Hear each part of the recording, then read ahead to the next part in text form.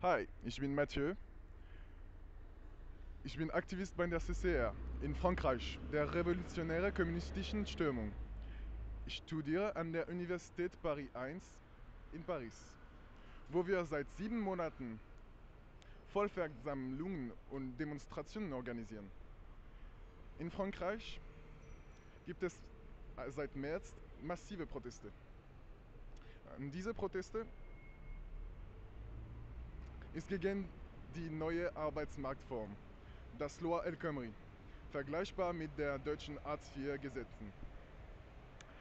Zuletzt gingen am 15. September fast 200.000 Studierende und Arbeitnehmer gemeinsam auf die Straße.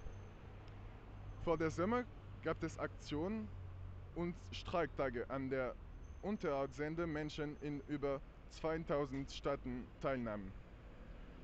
Französische Schülerinnen blockieren zeitweise über 100 Schulen. Die Polizei griff uns mit Blendgranaten, Tränengas und Schlagstöcken an. Während wir gegen die französische Regierung kämpfen, hören wir immer wieder, dass auch in Deutschland Jugendliche gegen die Regierung kämpfen.